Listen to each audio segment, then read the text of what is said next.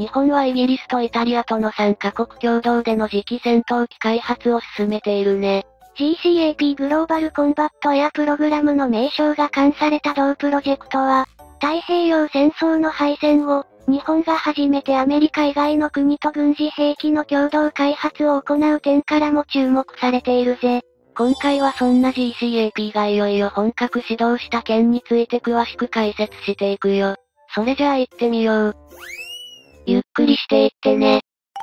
GCAP グローバルコンバットエアプログラムの名称からも見て取れるようにこのプロジェクトは、次世代のグローバルな航空戦闘システムの開発を行うことを目的としており、単なる戦闘機単体の開発に止まらないんだ。中でも今後の航空戦力の分野は、戦闘機といえば現状のような操縦者が登場して操作を行う有人戦闘機に加えて、それらに随伴させ、その完成化で各種の任務に従事する無人航空機にまで及ぶことが予想されているよ。そのため GCAP グローバルコンバットやプログラムでは、有人戦闘機に加え、そうした無人航空機との連動も視野に入れた開発がなされる予定だけど、そう入ってもやはり有人戦闘機の占める比重は軽くはないだろうね。日本ではイギリスとイタリアとの3カ国共同によって GCAP グローバルコンバットやプログラムを推進するにあたり、両国との協調も踏まえてそこで生み出される有人戦闘機の完成品を海外に輸出する方針を政治的にも固めたぜ。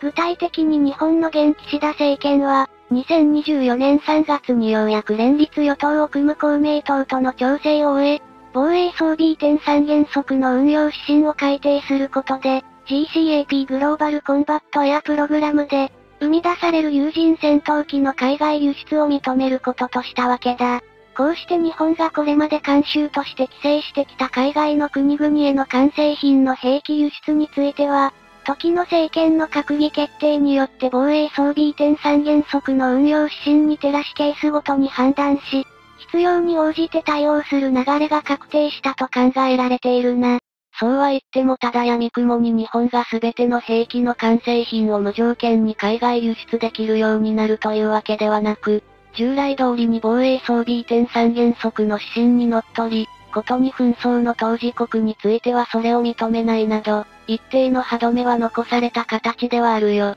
このような防衛装備移転三原則の指針の弾力的な運用について、日本国内でこれに反対する個人や団体からは、非常に厳しい政府批判の声が溢れているんだけど、大手のマスメディア等がこれらを伝えても体制に影響は与えていないように思えるね。そこには2022年2月以降継続中のロシアによるウクライナ侵攻や、中国による台湾有事の懸念が高まる中で、大半の日本国民は防衛予算の増額等と同様に次期戦闘機の完成品の輸出についても、今の世界情勢からやむなしとの見方が多いからかな。いずれにせよ政治的には日本における次期戦闘機の完成品の輸出の是非という問題は、今日のかつての冷戦時期をも上回る勢いの世界情勢の変化の前には、いわば必要悪として消極的ではあるが、承認された感が強いな。さてそうした次期戦闘機をめぐる完成品の海外輸出という問題だが、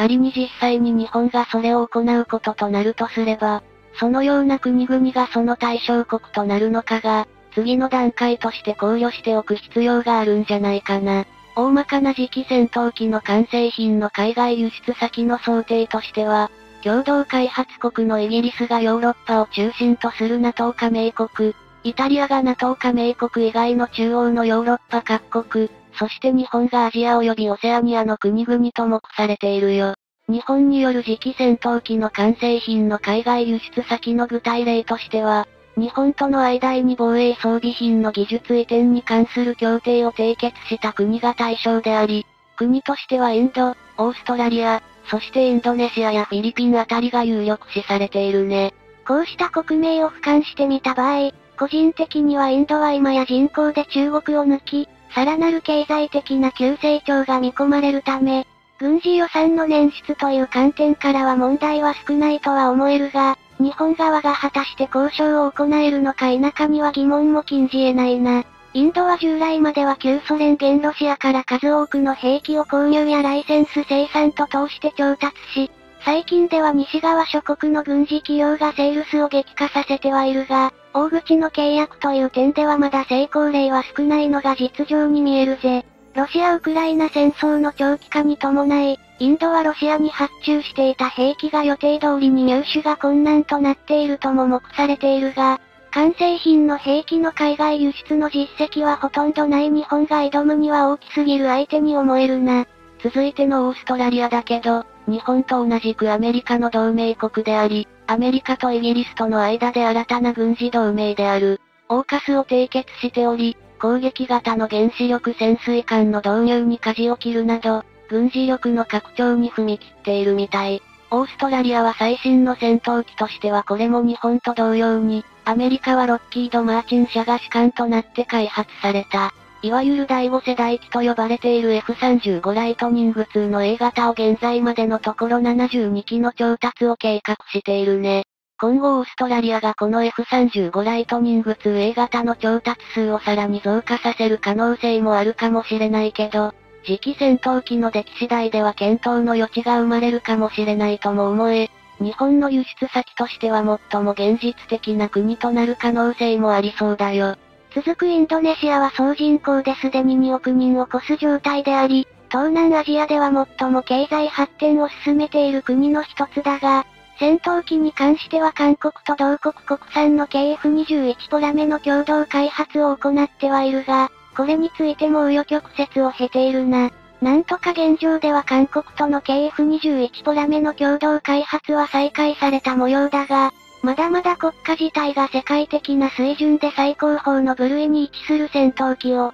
調達できるほど潤沢な軍事予算を持ち合わせているとは言い難いだろう。最後のフィリピンだけど、一時期はかつての宗主国であったアメリカの庇護下から離れ、その軍事基地をすべて廃止して中国との接近を強めていたが、ここに来て南シナ海のスプラトリー諸島をめぐる中国との対立でアメリカへの回帰を深めているよ。ただしフィリピンも国家の財政的には貧しい国であるため、最新の兵器の導入は困難であり、戦闘機についても韓国の FA50 をなんとか装備している程度の規模であり、現状では日本から次期戦闘機を調達する費用の捻出は望めないだろうね。こうしてかいつまんで見ていくと、政治的に日本は次期戦闘機という完成品の兵器の海外輸出に向けて、大きく踏み出したとはいえ、それを実際に購入調達する軍事費や環境にある国はかなり限定的であると言わざるを得ないな。さてそんな次期戦闘機開発だけど、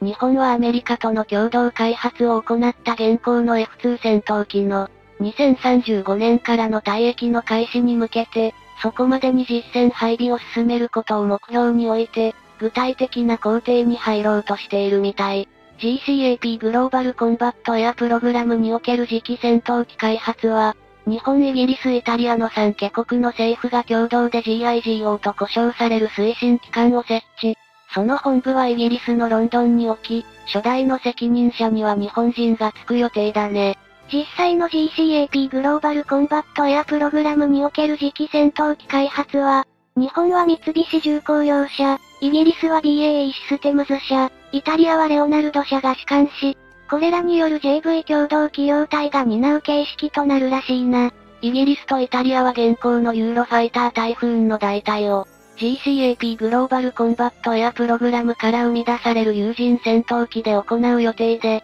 もともと進めていたテンペスト計画を発展させたと言えるだろうね。それじゃあ今回はこの辺で、よかったら、チャンネル登録してね。